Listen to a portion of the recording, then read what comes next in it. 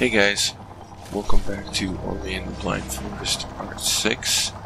I know that it's been a while. Um, long story short, there was a bug in my OBS software, and I used to use Shadowplay, but tried making this video with OBS, and it didn't record any of my voice, so I'm going to talk about the game mechanics that I saw through this next little bit and uh, still try and leave in as much as I can through the, the gameplay and, and, playthrough itself. Um, again, sorry, bug. You know, what can you do? So, uh, yeah, let me know if you want me to make a video on how I fixed OBS. And other than that, uh, enjoy the video. Thanks.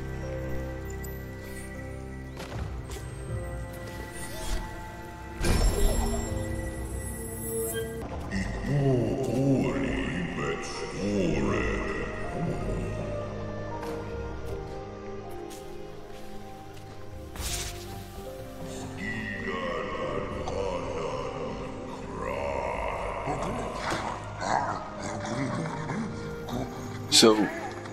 this game doesn't actually give you, it doesn't hold your hand in anything, and by introducing this new character who has stolen something and makes it instrumental to a piece of the story, the player naturally wants to go and chase, and while this uh, event seems insignificant at the moment, it plays quite a significant role into manipulating the player later on. Later on.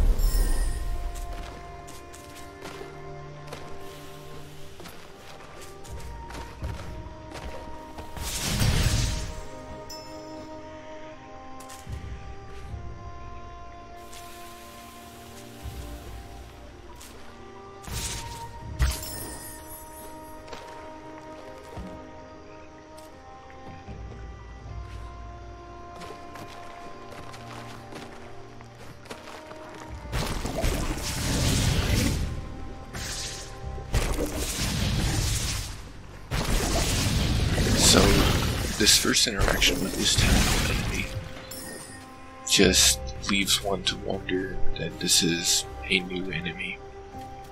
However, with the game forcing you to, well, not forcing, but providing you with the opportunity to learn at this early stage as to what these enemies do and how this mechanic can play in a role in the future. Being that I was able to kill these enemies early and quickly, I was not exposed to its true potential until later on.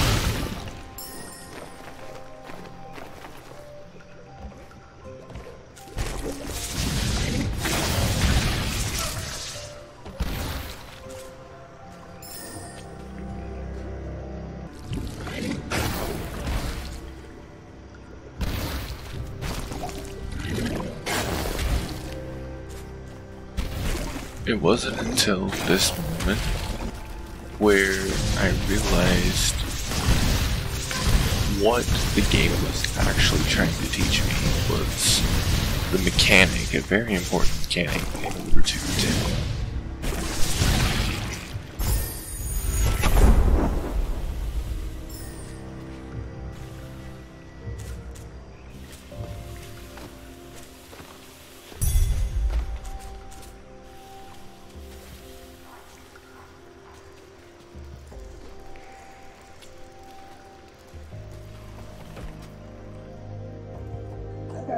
There's subtleties in games, and again, going back to the player's natural instinct to chase an enemy and not let them get away. In in this scene, you see a very key part where you want to chase the enemy, and by doing so, and in this cutscene, it shows you exactly where you need to go.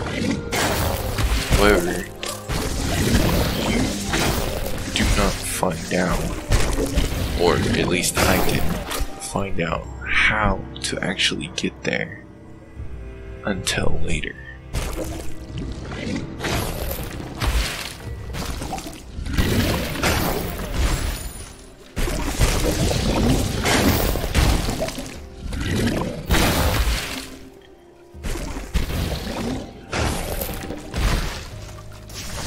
Say one of the most underrated tools a developer has in his toolbox to get a player to use or manipulate a player into doing some action is color. Now, I noticed that once I figured out the mechanic of using the enemies to with the environment, that that's how I needed to proceed. But the key moments were where to get them to interact because I could have them shoot their explosive canisters wherever, but actually getting them to land in the right spot was to progressing everything.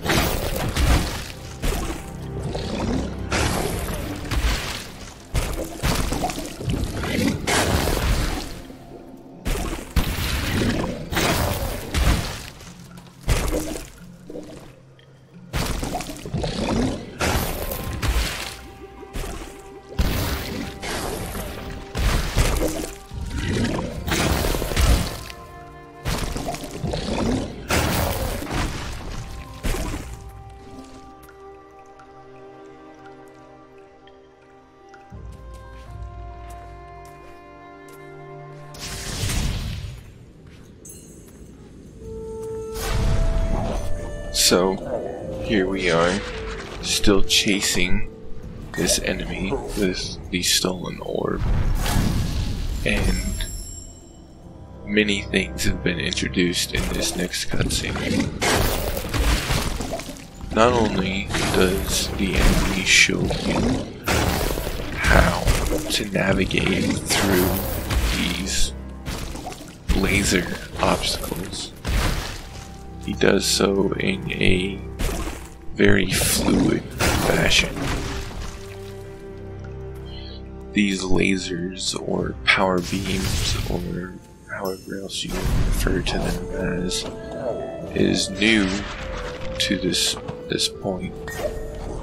And this this seems so simple and the game makes it out to be so easy, which it is and it can be.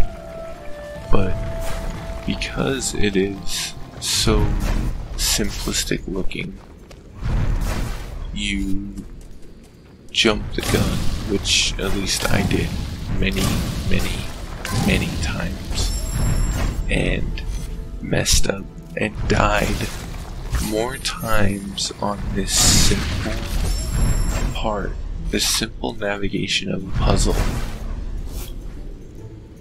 then I don't even know how to explain. So, this is a way to trick the player into a false sense of security and provide them with enough information to know that, yeah, you just dodge a couple laser beams and you're fine. but not enough information as far as timing, which is crucial, and how to go, like how to navigate. You you follow the enemy, but actually implementing it is a different story. Because as you can see, the enemy can hang on the walls, hang on the ceiling, where you don't have that ability. So it adds another layer of complexity when you watch it versus implementing it.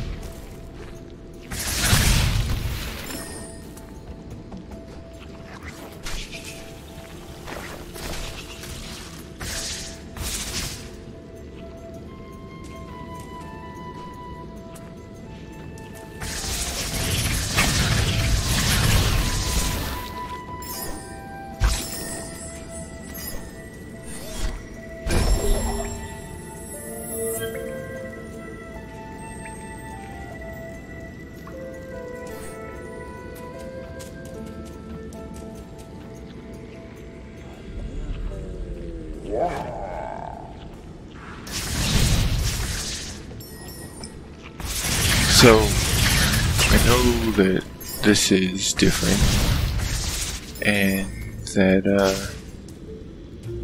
you know, I'm a little bummed that it didn't quite work out with OBS the first go around, but hopefully future videos we won't have this problem. I'm sure we'll run into plenty of other issues, but, you know, it's the nature of the beast. Um, this game is a lot of fun, and I think that it's very well made, and I could probably sit here and dissect it with, you know, every with a fine tooth comb and understand everything.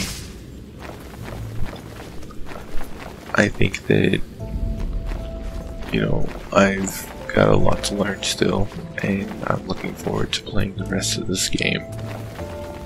So, yeah, thanks for watching.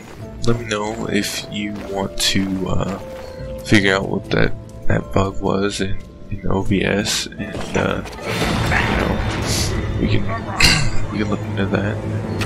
If uh, if you like this video, like, comment, let me know what you think. Uh, I can do more like this, where you know I play and, and then dissect what's going on. Um, other than that, my next video should be back to normal. So, uh, yeah. Thanks for watching, and uh, uh, see you next time.